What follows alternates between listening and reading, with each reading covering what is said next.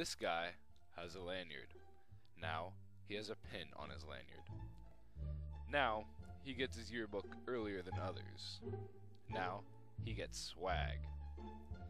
And then even more swag. Then he gets an awesome smartphone. Might as well give him a banjo as well. Now, let's take away his lanyard. Five minutes till the bell rings. Those with the lanyard, you're out of here.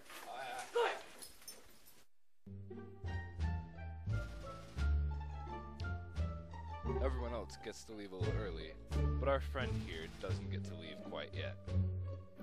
When you don't have a lanyard, you have to wait for the bell.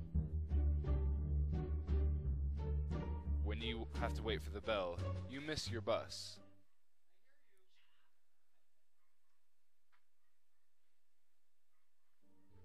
You miss your bus, you end up hitchhiking.